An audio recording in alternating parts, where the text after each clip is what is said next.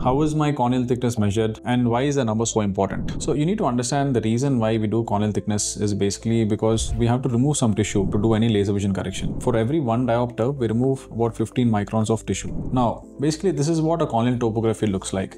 If you see the map here, the color coordination, if you see the colors here, anything around this yellow, green and orange, as you can see the thickness is 500, 530, 560 microns.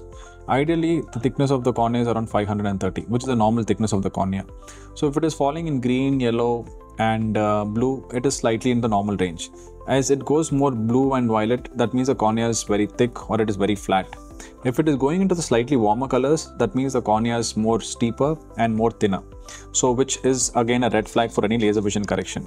So coming to this patient, as you can see, the minimal thickness, that means his least corneal thickness is 511 microns.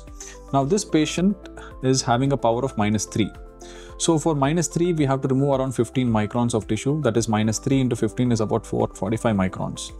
Now 511 minus 45 that means he is left with 466 microns.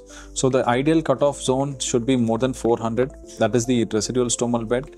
Now he's having 466 that means he's falling way above the safety zone.